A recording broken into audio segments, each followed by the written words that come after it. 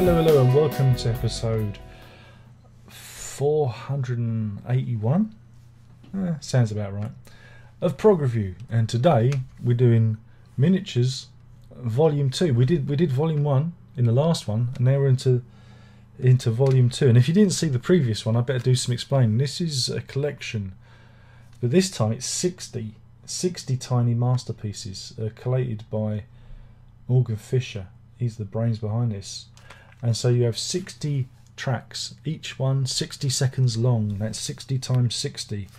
And yeah, it is a follow on or a re a rejiggering of the previous idea. And this one was released um well, it's the turn of the millennium, the year 2000. God, could it be? Could it have been that long ago? And uh, again, it's it's like 20 years that sounds about right. 20 years after the previous after the previous miniatures. And as i was saying in my previous video these are very much uh, a, a thing of their time. These are a creation of their time. And we have some we have some familiar people appearing who was on the previous one like michael nyman uh, robert fripp with Trey Gunn this time um, simon jeffes piano the, the Simon Jeffes or Penguin Cafe Orchestra, whichever way you want to look at it. Um, so there is a little bit of you know crossover, but we have new people. We have John Paul Jones, Linton Kwesi Johnson, the the poet, the street poet or beat poet, um, Hugh Cornwell, Howard Jones, uh, B.J. Cole, Terry Riley. Uh, who else have we got that you may have heard of? Uh, there's because there's quite a few on here that I, I even I don't know. There, you know, Gavin Bryars again. He's from last one. Uh, Jane Siberry's on here. Um, Geoffrey Richardson uh, plays with uh, Caravan and Penguin Cafe Orchestra. Uh, do, do, do, do. Uh, Lol Coxhill again. He was on the previous one. Transglobal Underground. Who remembers them? Um, yeah, and loads of others. There, there are loads, 60, because I've already said 60 artists giving these tiny little jewels. And this time around, it is very different. It is very different to the previous one. Whereas the the first one, if you haven't watched that video, is like I say, it's a bit more left field and anarchic and very, you know, you can feel the 1980s. You can, you can smell, you can smell the time. You can smell 1980 um, in the grooves, as it were. Um, this one is it is millennial. It's technologically advanced. You know, there's more. You know, it's got more going for it, and it's also there's a slant towards more what I'd call more world music. You know, there's more world music influences on this from all parts of the globe. Um, and there's some really good stuff. You know, opening with the track "Jump Time," which is great. It's coming. Fanfare for the Millennium by John Paul Jones another great track. It's these again. These ones. These are more. Uh, I'd say they're more polished, whereas the rough diamonds on that one. These ones, the production value has gone up considerably. Um, and like I say, it's it's wow, it whizzes past. It, you know, for for something that's an hour long. These tracks just come and they go and yeah, there's some things I'm not particularly uh, happy with. there's, but there are some that I, I, again, I played this, and it was like revisiting an old friend. It was like I remember you. I remember Shaka Shaka Shaka. I remember that. I remember Dead Dog of Kowloon by Transglobal Underground. Um, and it's funny because I wouldn't say it's these are albums that I play all the time but it, it got into these albums have got into my DNA. They're there, you know. Uh, they wheedled their way in. They they they're, they're fascinating. I find I again to repeat myself. I find them fascinating, and again, it is a very disciplined construct. You know, you have to be very very tight when you take on this project. You know, to deliver something that is sixty seconds or less you can, you can do a little bit less. Can't go over 60 seconds though. And so to actually do something that works, that functions as a tiny little song that is full of character, that has a you know that has a purpose, that is individual, that stands out. It is a real test of musicianship, and that's what we get here. We get people that are just, you know, it's. I just, I think it's just really clever, and I'm hoping that you know, maybe in 2020 there'll be volume three, though I probably won't be. I think this is probably it. Um, but yeah, there is so much. I mean, this one is even bigger. It's even bigger meal because you get, you know, you get extra, extra, extra nine minutes.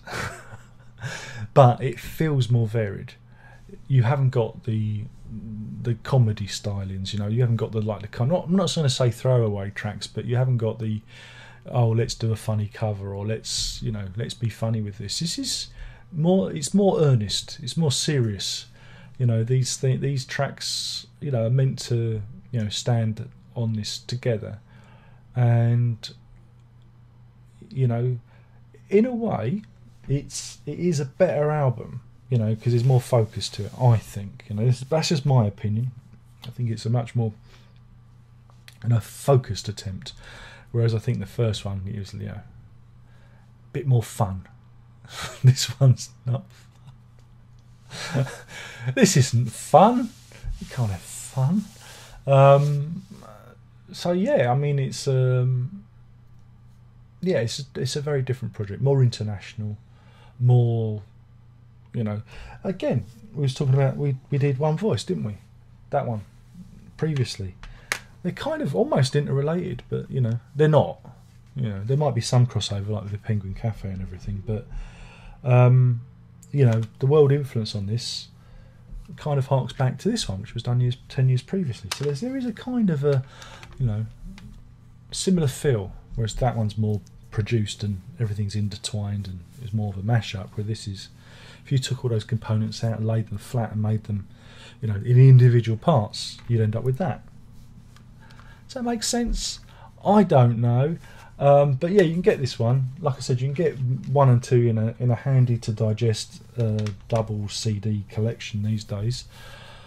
And again, if you want something that's a bit different, that's a bit you know, that's going to stretch you and test you and uh, make you go oh, and maybe introduce you to some new artists. It's an incredible way to make you think, oh, check those guys out. You know, it's a it's a really um, economical way to uh, to do that to get a lot of music in your ear holes in in 60 minutes. Um, so yeah i mean I, I, I love them both. I really do. These are these are albums like i said that have had they must have had an influence. They must they must do something to me because i remember them so well. And like i said even i don't necessarily play them all the time it's like these are like old friends. And that's and, and those kind of albums, I think, are the more, you know, they're not necessarily you don't necessarily have to play them all the time, but you know they kind of get under your skin, and they're the they're the important albums. They're the ones that mean something. They're the ones that have true value.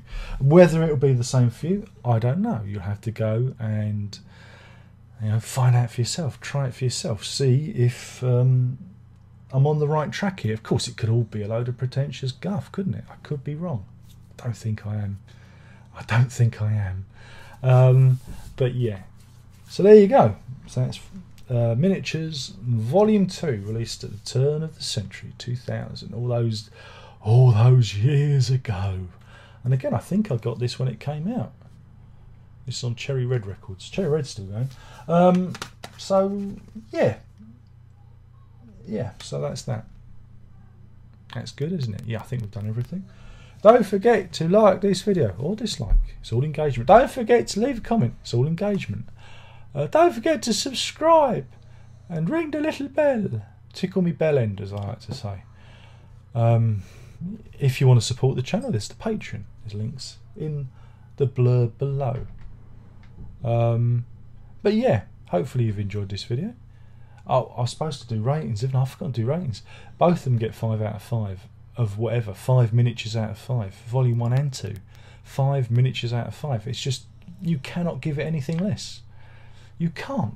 You can't give it. Well, you could, but then where's the fun in that? I have deep, I have deep love for these albums, so there's very little point in me actually giving them a rating. But we do it just for the people in the comments section who say you've forgotten, even though. But anyway, Thanks for watching. There's only one more thing left to say, and that's I've got 10 million views. I've got 10 million views. 10 million channel views, which is more than you. More than you. More than you. Prog on.